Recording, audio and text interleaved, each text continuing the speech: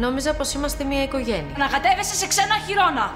Γι' αυτό μαζέψου. Εσύ έχεις την Αριάδνη, είσαι καλυμμένος. Αυτό το μωρό θα το κρατήσω μόνη μου. Δύο και σήμερα για το πείραμα το πολιτήριο. Θα τσεκάρεις και τη γυναίκα σου, ε. Μην της ζεσταίνει κανείς άλλος τα βράδια. Η γη της ελιάς Απόψε στις 9.